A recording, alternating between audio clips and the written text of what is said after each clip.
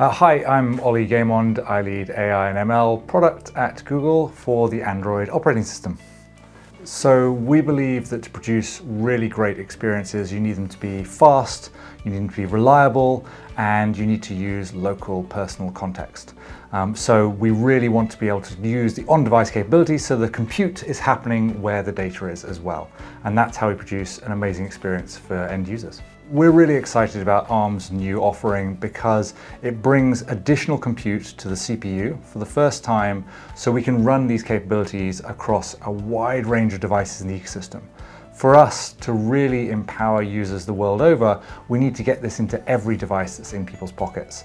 And having that capability in such a foundational piece of silicon really opens up much greater possibilities for us. So think about things that you use every day like YouTube, Gmail, Google Photos. We want to take advantage of that special hardware to enhance all the existing experiences we have.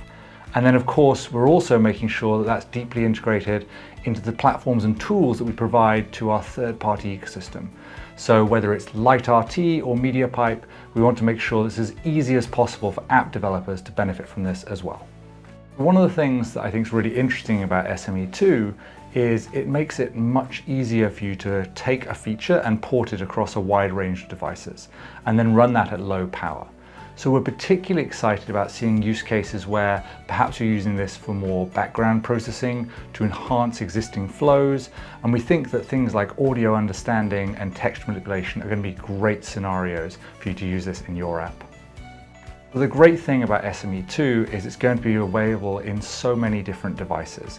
Android is an ecosystem, which means that we have a range of form factors and possibilities for every personal preference.